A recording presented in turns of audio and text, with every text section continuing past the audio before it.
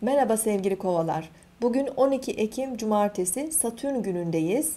Bugün biraz enerjiniz düşük olabilir. E, yalnız kalmak isteyebilirsiniz.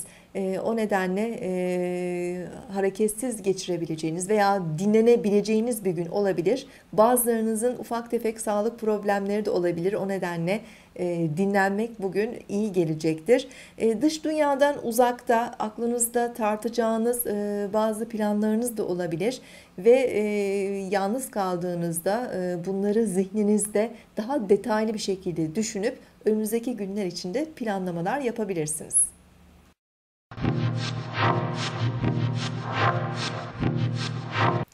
Burcunuzu dinlediniz. Bugün 12 Ekim Cumartesi Satürn günündeyiz. Günün ilk saatlerinde boşluğa giren ay gün boyu Oğlak Burcu'nda ve boşlukta ilerleyecek. Bu nedenle günlük işlerimiz biraz yavaş ilerleyebilir veya sonuç almakta zorlanabiliriz.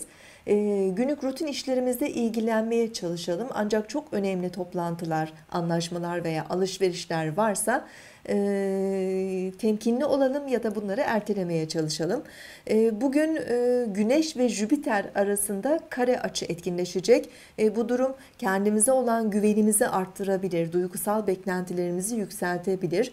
Ancak e, çok abartılı tavırlardan ve riskli girişimlerden e, biraz çekinmeliyiz ya da çok temkinli davranmamız gerekiyor. Özellikle öncü grup burçlar yengeç, koç, terazi ve oğlak burçları bu etkiyi daha yoğun hissedebilirler. Bunun yanı sıra sorumluluklarımız, kariyerimiz, ailemiz, maddi manevi güvenliğimizle ilgili konular bugün daha fazla gündemimizde olacaktır.